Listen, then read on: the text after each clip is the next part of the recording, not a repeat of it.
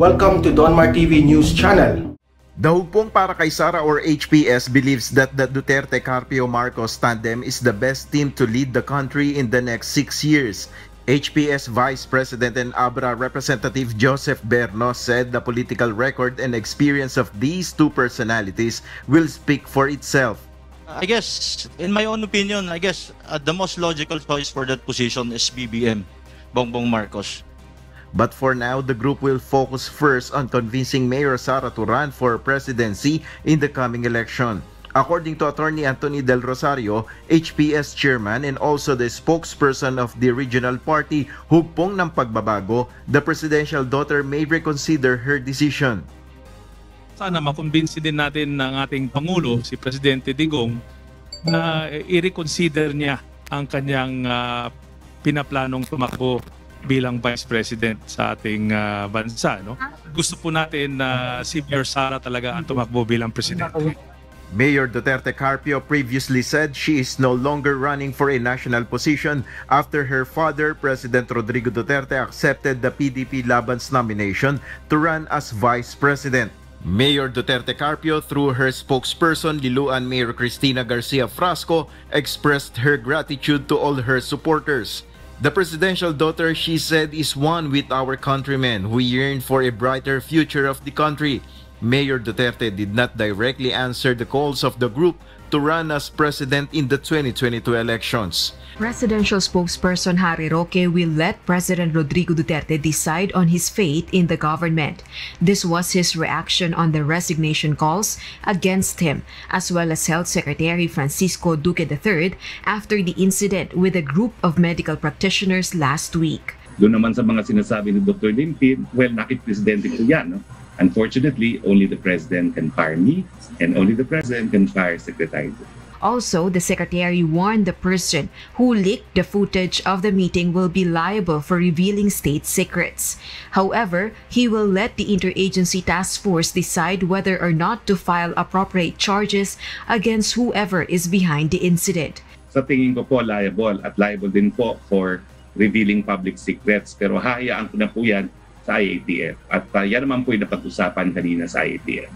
But according to former Supreme Court spokesman Theodore Te, the video shown does not contain a state secret or any sensitive information as stated in the data privacy law. Secretary Roque is currently in New York, USA for his nomination at the International Law Commission or ILC, a United Nations advisory body focused on the development and codification of international law. But the Free Legal Assistance Group or FLAG has written to ILC to convey their objection on the nomination. But the palace official just dismissed this. Narito po tayo ngayon sa New York dahil po um, pag magpipili po ng 34 na mga miyembro ng International Law Commission ang mga miyembro ng United Nations. Ano ba ho itong International Law Commission? Hindi po ito hukuman, hindi po ito trabaho, no? Ito po ay 34 na mga eksperto sa larangan ng international law. Ano pong mandato nitong International Law Commission? Ito po ay yung tinatawag na codification of customary international law at yung progressive development ng international law. Secretary Roque was nominated by the Duterte administration. Kung ganon ka kitid ang utak ng mga ng mga pinagkakatiwalaan nating mga namumuno sa ating bansa, hindi nila magawa ang dalawang problema sa iisang pagkakataon. Mahirap. Walang budget ito eh. Ito lang nilagay natin dito. Ganon ang inyong pag-iisip. Hindi nyo, hindi nyo pwedeng gawin ang uh, dalawang bagay sa isang pagkakataon na pwede nating ito'y ipagpatuloy at pwede rin nating ito ay gawin. Hindi nyo, hindi nyo kaya sa utak ninyo yon? Hindi kaya yon? Kung ako senador ako, hindi ko kaya yon. Iinsultuhin ko sarili ko. Wala akong kaya.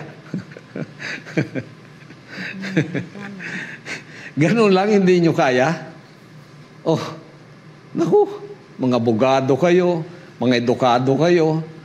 Ganun lang, hindi nyo kaya? Hindi nyo kayang ang budget na 29 or 30 billion ng NTF-LCAC ipatuloy. Pagkatapos itong SRA, lagyan din ng pondo.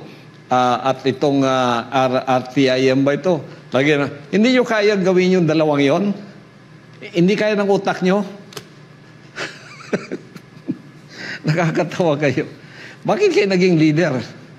The good pastor also said that instead of giving out only 28 billion funds for the cost of the task force, the lawmakers should consider giving the LCAC a bigger fund as high as 100 billion pesos to end the problem of the insurgency. The good pastor also calls to fund the SRA at the same time. Sana maliwanagan kayo. Sana maging tunay kayong leader. Sana magiging proud ng Pilipinas sa inyo. Pero ninyo, ang dami niyong senador dyan, dalawa lang. Ha? Hindi nyo kayang isolve sa utak ninyo.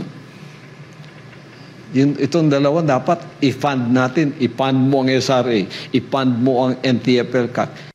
Pastor Apollo meanwhile challenged the senators to have a debate with him so they may know how to serve the country better. I propose, I am challenging it to a debate. Hindi lang si Pacquiao ang inahamon ko, pati kayo. Oh, para mak- makita ng taong bayan kung gaano dapat mag-lead sa bansang ito.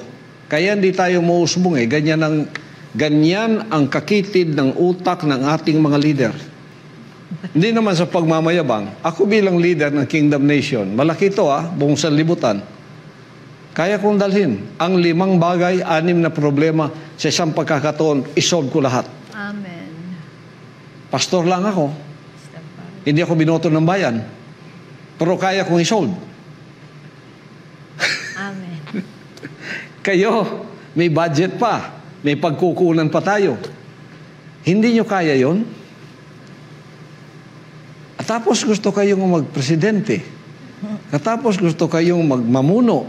Ganun kanaro-minded kayo. How do you lead people? Kaya, kaya naghihirap ang bansa natin. E paano naman din? Talagang halata, halatang halata na, na wala na doon sa kanilang ah, agenda yung ah, pagsuyod ng ah, kung ano-anong detalye na may kinalaman doon sa supplier na kung tawagin ay parmali at agent.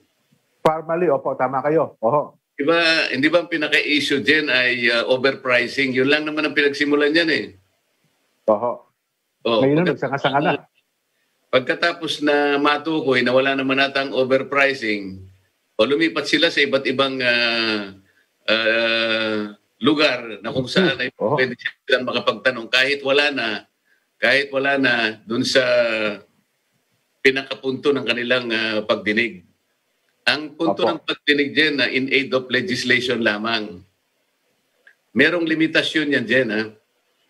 Ang, ang magiging parametro mo sa in aid of legislation na pagdinig ay kinakailangan makapagbalangkas ka ng isang panukalang batas na kung saan ay kakailanganin mo ang pagdinig para yung ah, inaasahan mong mga materyales na ikakapit mo sa yung pagbabalangkas ay ah, Mhm. papadali o kaya lalong mabibigyan mo ng ah, sustansya yung panukalang batas na gusto mong ah, maging batas sa kinabukasan. Opo. Eh hindi ko na ngayon maintindihan din yung pinatutunguhan ng mga pagtatanong kung yan ay in aid of legislation pa o yung aid in aid of uh, yung sinasabi nilang in aid of re-election Opo. in aid of Self-interest. Hindi Yun ba? po. oh. Oho. Well, ang sabi nga po, eh, kagabi, parang isang araw po ata ay nagpahayag ang Pangulo. Ito po yung buong panindigan niya sinabing, kapag ka nakita, nakakakitaan niya kayo ng overprice ano, sa presyo na binili. Nung, dati dito sa report ng COA ko nga, ay nakahanda niya sa mag-resign ah, sa kanyang posisyon bilang Pangulo ng ating bansa. Itinataya po ng Pangulong Duterte ang kanyang leg. At inamin naman niya na ito palang si Michael Yang ay talagang kinausap niya bilang matagal na palang negosyante sa Davao sapagkat personal na niya pinakiusapan na maghanap nito mga PPE, itong mga personal protective equipment ah, para po sa labanan ang epekto ng COVID-19, Kong. Doon lamang nakasentro ang uh, usapin din. Mm-mm. Yung uh, pagbili mo ng kinakailangan ng mga frontliners, napakarami nilang kailangan sapagkat unang-unang silang dapat na mabigyan ng protection sapagkat sila yung nasa unahan ng paglaban natin sa uh, COVID-19. So kinakailangan balutan mo sila, kailangan bihisan mo sila talaga Oo. na uh, protective equipment na mapagsa, makakapagsanggalang sa kanila.